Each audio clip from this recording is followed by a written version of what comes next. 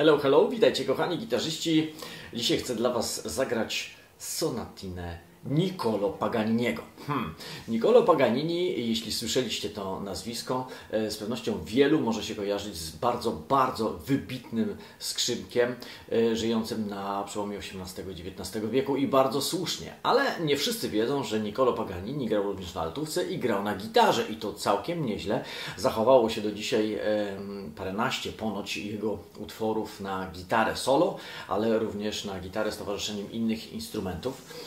A ja właśnie dzisiaj chciałem zagrać dla Was taką e, sonatę, która jest w cyklu zatytułowanym Trzy sonatiny dla signory de Lucchi, signora de Lucca. Nie wiem kto to był, ale dla niej napisał te trzy sonaty.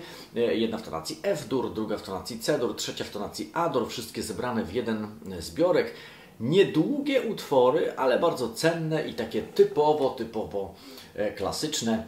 E, posłuchajcie, jak może zabrzmieć druga z nich, ta w tonacji C-dur.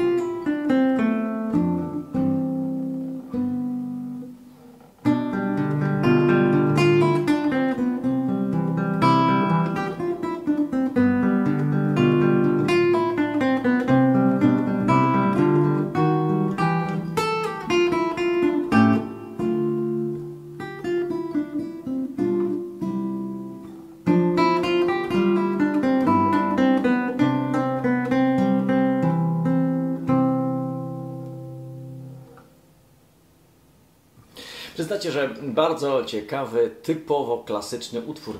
No cóż, nie zapominajmy, że były to te same czasy, w których piękną muzykę klasyczną na gitarę tworzyli tacy kompozytorzy jak Matteo Carcassi czy Fernando Sor.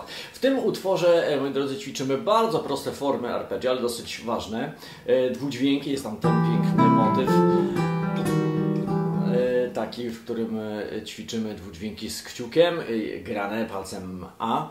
Jest to więc bardzo wartościowy utwór, a przy okazji bardzo sympatyczny, durowy, pozytywny. Zachęcam, abyście po niego sięgnęli, jeśli tylko macie do niego dostęp. Ja swoim uczniom dosyć często go polecam na przełomie czwartej, piątej klasy, kiedy mamy zagrać utwory klasyczne. Taki, taki utwór jest w sam raz. Można dużo ciekawych chwytów gitarowych w nim wyćwiczyć, e, a przy okazji zapoznać się z muzyką Niccolo Paganiniego. Mam nadzieję, że Wam się podobało. Piszcie w komentarzach. A teraz już się z Wami żegnam. Serdecznie pozdrawiam Panu Gitary.